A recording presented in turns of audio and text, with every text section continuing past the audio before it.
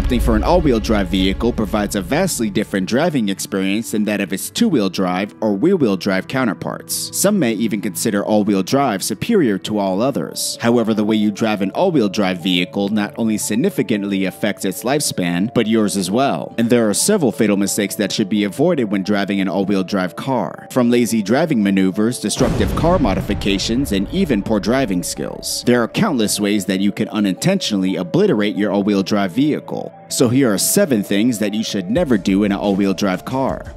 Never put mismatched tires on an all-wheel drive car. Front tires on an all-wheel drive vehicle can often wear more quickly than those on the rear axle. As a result, it can be tempting to only replace the two front tires. But a new tire is larger than one of the same brand, type, and size that's partway through its tread life. A difference in diameter of less than half an inch between front-wheel drive tires on your all-wheel drive car can mean trouble for the drivetrain. If two tires on one axle are spinning faster than the others, your car's electronics may think the faster moving tires are slipping and put you in the wrong gear. Most all-wheel drive systems in cars sensors on each wheel that monitor traction and wheel speed hundreds of times per second. This is what allows the all-wheel drive system to work in slick conditions by sending power to whatever wheels that have the most traction. When smaller tires are spinning faster, the system may put your vehicle into four-wheel lock, the gear that's used for driving in slippery conditions. In vehicles equipped with all-wheel drive systems, the transfer case, gears that transfer power from the transmission to both front and rear axles, and the car's internal computer work together to send power out to each wheel. The amount of power per wheel can vary, depending on the wheel's individual workload. For example, in a straight line, each wheel carries a reasonably similar load. In a cornering situation, the stress on each wheel is very different. The amount of power the internal computer sends to each wheel, based on what your all-wheel drive vehicle needs to go down the road, helps manage how hard the transmission and transfer case are working. Inconsistent outside diameters caused by different tire sizes, tread patterns, or tread depths can force an all-wheel drive's computer's readings to fluctuate, and various wheels will receive inefficient or incorrect power loads. As a result, the drivetrain, computer, transmission, and transfer case must constantly readjust, doing more work than necessary and eventually may break down. Never fail to tailor your driving technique when cornering an all-wheel drive car.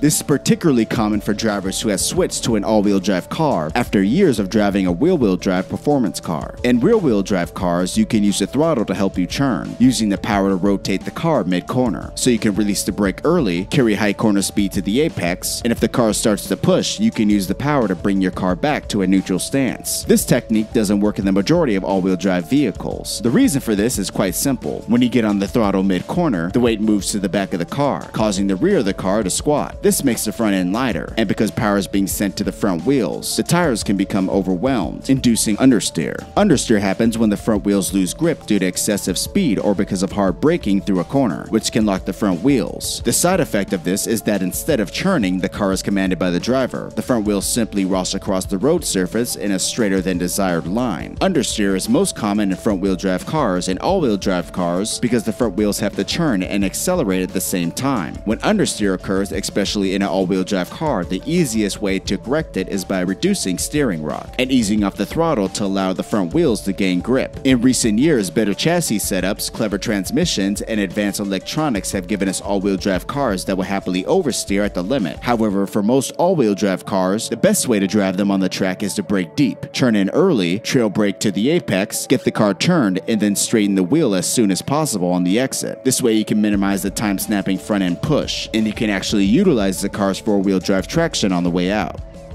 Always use a flatbed for towing.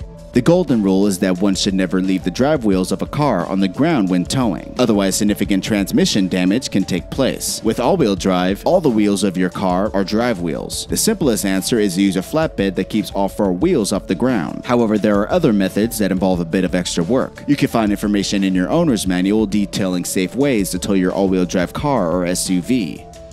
Never launch your manual all-wheel drive car hard. Hard launches take their toll on all transmissions, but all-wheel drive cars fare the worst. This leaves the transmission to bear the brunt of a hard launch. As a result, we don't recommend full throttle launches in manual all-wheel drive vehicles. But if you're determined to do it anyways, there are some quick tips to minimize the damage to your car. The first thing you should do is to make sure that the car is cooled down. You should then depress the clutch, bring the revs up to 5,000 to 6,000 RPM, slip the clutch, creep forward around 1 mile per hour, and then release the clutch quickly and smoothly. By slipping the clutch, first gear is almost engaged, taking slack out of the drivetrain, so when you release the clutch, the jolt sent through the transmission is lessened. Granted, this technique will take a toll on your clutch, but think of it this way, you're sacrificing the clutch to save the drivetrain, and we all know which one costs more to replace. Never do handbrake turns in an all-wheel drive car.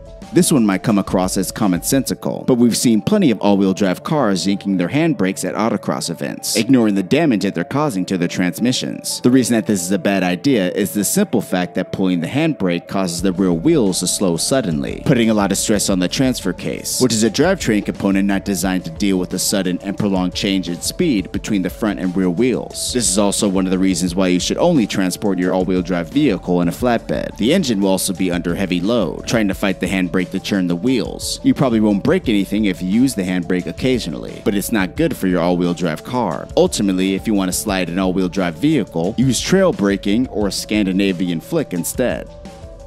Always keep your all-wheel drive car's transfer case lubricated.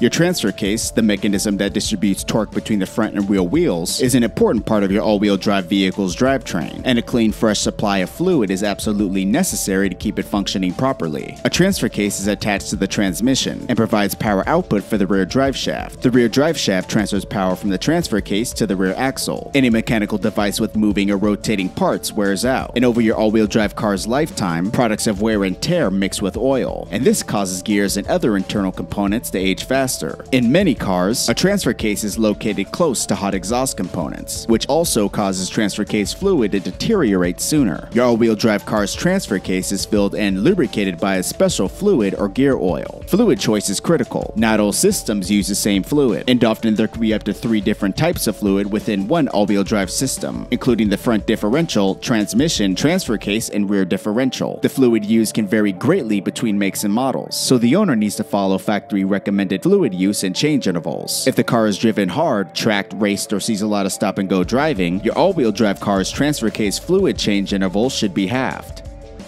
Never assume that you have endless levels of grip in winter weather.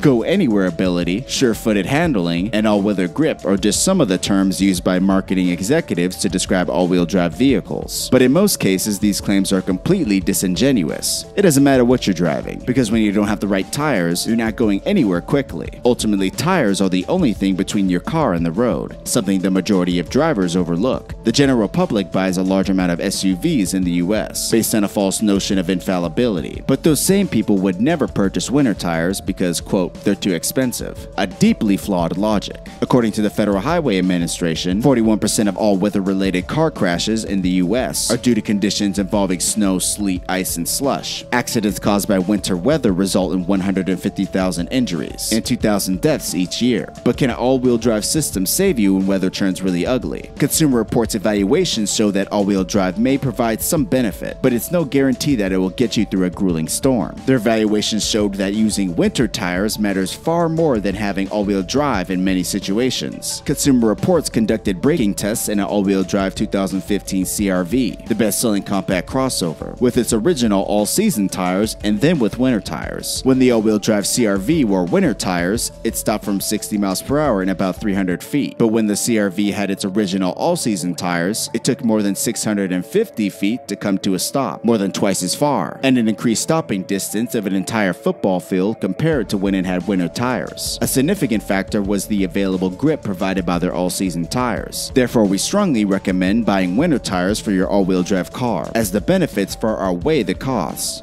Never put your car in park before it comes to a complete stop. Some newer cars won't even let you do this, due to speed sensors in the car's software. But if you have an older car and you've been known to do this from time to time, this next point is very important. It could save your all-wheel drive car's transmission from irreversible damage. You should remember that park was made to keep your car from rolling away, but not to stop the car while moving. When your car is in park, its transmission is locked up. This means your car's wheels can't move or that they can but with great difficulty. When you put the vehicle in park, a pin locks the transmission's output shaft, which are connected to the wheels wheels of your car. Shifting to park while moving causes a locking pin to be inserted into a gear. The car's moving wheels are also connected to, so when you lock it and keep the vehicle rolling at the same time, there's a risk of breaking the locking pin which can cost you thousands of dollars to fix.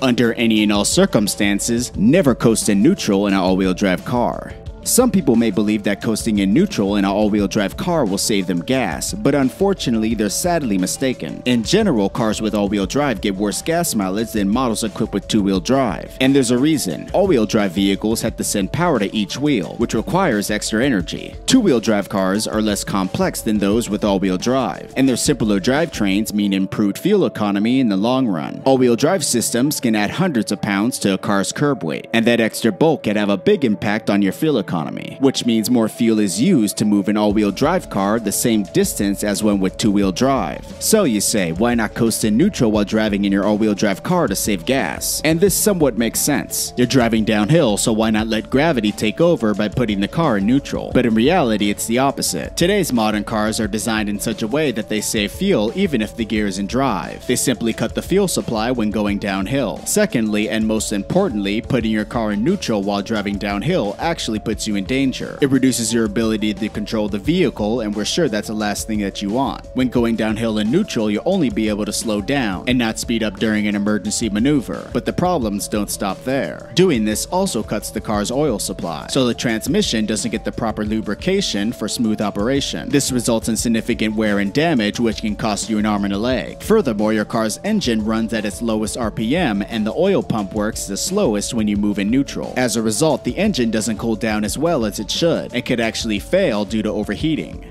Well guys, those are things that you should never do in an all-wheel drive car. If you guys like this video, give it a thumbs up. Also, if you like what you see at the channel, subscribe and put post notifications on. You could also follow the channel on Instagram at Modern Muscle YT. Also, if you guys like the channel, want to support it more, want exclusive content, go to patreon.com slash modern muscle and be a patron. I'm Jeff from Modern Muscle, and I'll see you next time.